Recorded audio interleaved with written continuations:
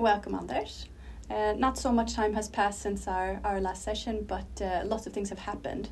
We had the, the Fed that uh, left rates unchanged, but they also came in with a projection for GDP growth that was over or was 2.1% uh, for 2024 with a robust labor market. Um, was this a fall off your chair surprise? Well, Jessica, I, I, don't really think it was a big surprise for the market that they left the rates unchanged. That was very much priced. But I do think that the forecast is, is fairly interesting. So, first of all, when Fed is saying 2.1, uh, they are referring to the fourth quarter this year. Um, most forecasters have expected Q1, Q2, or even Q3 to be weak. Now we're seeing in the data that there is absolutely no sign of that. So, if they are looking at 2.1, uh, growth this year um, at the end. We're probably in an interval for 2024 uh, between 2.5 and 3%. The details are also very interesting. Uh, they are not adjusting their labor market outlook. Unemployment stays unchanged. So it is not that growth is driven by a large increase of employment. And secondly, they are not moving their inflation forecast. So this implies that it has to be productivity. Um, we've had three quarters now with U.S. productivity above 2%. So it, is very interesting that Fed is, is putting credibility in a, in a story where maybe we're leaving this period from, from since the great financial crisis when, when U.S. productivity has been well below 2%. For the stock market, this is actually very important because it implies that inflation is fairly stable around 2% in the medium term it also implies that productivity increases fall down to the bottom line. People are selling more without increasing cost, which increases profit margins. So that, that's very supportive for the stock market. If this is ongoing, we normally see uh, productivity pushing into consumption and, and also top line sales because clearly when, when productivity is high, people are earning more and therefore have a better consumption uh, ability. So yeah, I think this is a very was a very interesting forecast. They they are the best forecasters in the world, and, and they are actually putting a fairly high probability on a Goldilocks scenario. So so that, that I think one should note. And if you look at the U.S. stock market, I mean S&P 500 is at 5,200. But if you want to have another leg in this rally, well, you don't have to be very brave in assumptions. If you have growth in the US between two and a half and three, and interest rates between between three and a half and four, you can actually see a bit of, upward potential for, for even the US stock market. So yeah, I, think this is kind of a very interesting forecast, and I think we should put quite a high probability that, Fed are correct here. And and then we actually can see a bit of, continuous support for, US stock markets and therefore a fairly benign environment for the rest of the world. If we um, if we turn to China then, and uh, we, we've seen a tentative stock market recovery there. We've seen some very low valuations and some supportive policies. Is it time for investors to, to give China another look? So the, the Chinese stock market have had a good run since uh, early February, mm-hmm. uh, but valuations are on an historical perspective very low, below the long-term average. And there are a couple of good signs. So the government has uh, said that they want 5% growth. We have seen the RMB uh, depreciate a bit. It's to 730. Uh, if you believe that the long run equilibrium rate for the RMB is somewhere around slightly below 7, this implies that export sector is going to see a bit of support here. And China has a very strong impact from currency to export because they are still dominating in in light manufacturing, ranging from textiles to plastic, etc.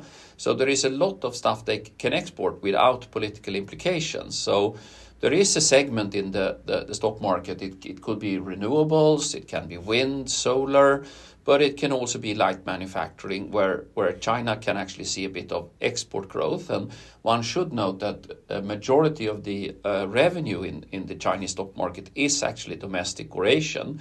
So the, the, the, the, the, the, exposure to, to Europe and, and, and US might be slightly lower than people believe. If we look at the stock market, it seems to seems to me like we already have a regionalization where Asia is selling to Asia, US to US, and, and Europe is a little bit in, in the middle of that. So uh, we got some strong data. Industrial production up 7%. We saw retail sales coming in fairly strong.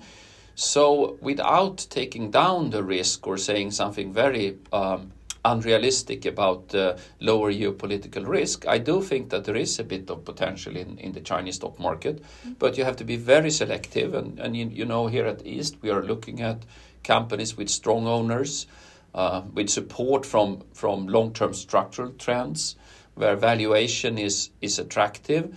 Uh, and, and, where the companies have strong ESG credentials. So you, you reduce the risk a bit by, by digging a, a bit deeper into to the companies. So yeah, I, I think that there is a bit of a, a support for also for China. Mm.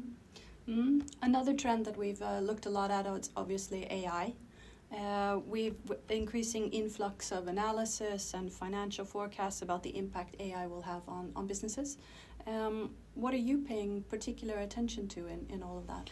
So as I see it, AI is really something we should uh, look at the short-term trends. Uh, we, we, can talk about how it changes society in five to ten years, but for the stock market, I do think that it's the short-term impact that is most important.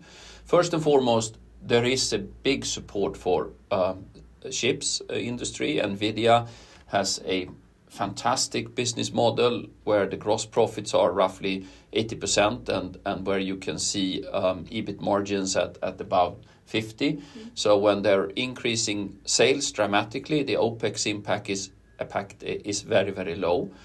Uh, we are already seeing uh, in, in, in the uh, cloud industry a big impact. Um, many believes that a, a, very large part of the current cloud space will be be used already um, end of this year, early next year by by AI applications. Um, then you have the second wave, and I, I, do think it's it's fairly interesting to look at what um, um, uh, Microsoft is doing. Uh, the GitHub Copilot seems to take off very rapidly for programmers. We are now currently at 70 80% of the code developed that is actually done with AI support. Uh, they are rolling out their Copilot for security, and most of us are going to use the um, the, the, the, the, the, the, the, the Copilot for, for our uh, Microsoft Office system already this year. So, yeah, a lot of short term um, uh, good traction. In the medium term, I like the, the health sector. Uh, AI could potentially be very large there. Um, obviously, we can see it in, in the actual management of her, uh, healthcare facilities. Um, there is a lot of logistic issues that could increase profitability and, and improve services. Um, it, has a direct impact on operations. I, I, think we're not that far away from a period where uh, doctors don't have to take notes uh, anymore because we will do that with, with AI uh, assistance. There is a big impact on pharma innovation. Uh, a lot of new systems for using big data to develop uh, blockbuster drugs is, is coming, uh, and, and that could have a positive impact. Uh, on top of that, you, you obviously also have medtech. So, um, just looking at the Swedish hospitals, if you go back four or five years, you needed to have two doctors looking at an MRI. Today, it's one doctor with AI support, and it's pretty clear that there is many applications where diagnostics could be much more efficient and also better. Uh, and on top of that, you actually have the the consumer uh, health tech, uh, where patients and others can be, get better access to data, uh, be better ability to, to get uh, healthcare fast, and, and a lot of wearables that can provide interesting data. So uh, yeah, I think the, the, we are seeing AI for real. It is not a futurologic uh, uh, thing that will happen in five years. It, it will have big impact on, on, on, on the tech sector already this year. And you can also in the near term, term see fairly uh, large benefits in interesting sectors like, like, like medtech. All sounds super interesting and uh, forward, futuristic. Um, what's on your radar just for next week? Well, uh, in terms of data, there is a bit of a calm now. We are uh, in a period where we have to wait one or two weeks to get a CPI in, in Europe. That will be a very crucial one. It's coming early April. Uh, non-farm payroll is coming, but it's also a couple of weeks away. Uh, we've seen the PMIs. Uh, there is nothing that indicates that the US is slowing. Uh, but we saw a bit of weakness in German manufacturing. So, so that story of the, weakness of Northern Europe is still ongoing. So, yeah, um, we will have to wait for the next round of inflation numbers, and, that will obviously be the most interesting data coming. Mm. So maybe in the meantime we get a, few days of Easter to, to rest up and be ready. yes, let's definitely hope for a happy Easter for all of us. Thank you.